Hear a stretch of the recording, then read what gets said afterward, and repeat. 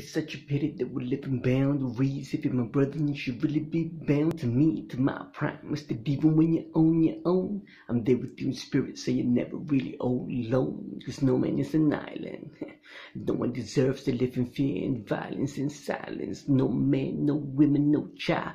Not for a little while, not for a little bit, not for a little kid. Be such shame, cause I believe we all deserve the same. I believe you deserve as much as I deserve, and I'm saying this out with a whole lot of love. Come on.